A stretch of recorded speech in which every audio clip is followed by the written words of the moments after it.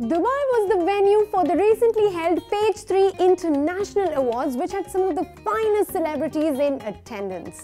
और जहां इतने celebrities आए हो वहां Z Connect का जाना तो बनता ही है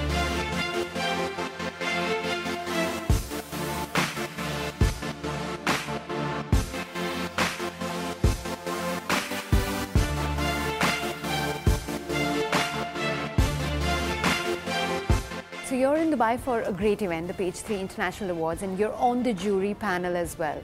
So tell me, tell me about this whole experience of being on the panel, on the jury. Well, I did last year at the Renaissance Powai and it was very interesting.